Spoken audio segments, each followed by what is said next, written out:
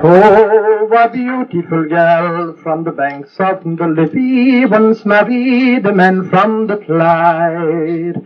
And a year or so later, both Glasgow and Dublin were bubbling all over with pride. For the shamrock and heather has fashioned together a flower so pretty and fair. And the name of this beauty, this Scots-Irish beauty, was Lily McNally McNair.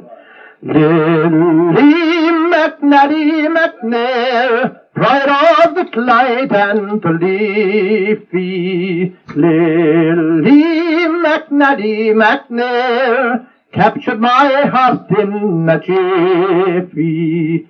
No one is sweeter, and sometimes I meet her, and that's when I walk on air.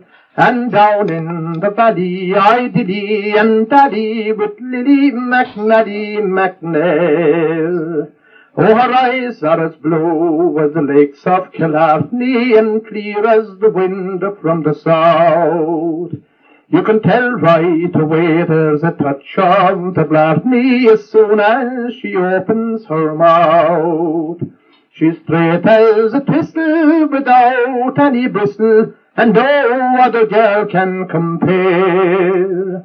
With a simp of rascality, full of vitality, Lily McNally McNair. Now, Lily McNally McNair, pride of the Clyde and the Liffey. Lily McNally McNair, captured my heart in a jiffy.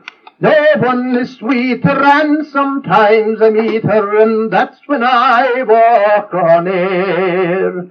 And down in the valley I diddy and daddy with Lily McNally McNair.